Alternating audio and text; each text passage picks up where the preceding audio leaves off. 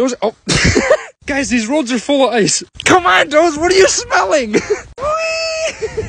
I really can't pull him. He's smelling something. Doze, come on. He could be an investigation dog, I'm telling you. And he's peeing.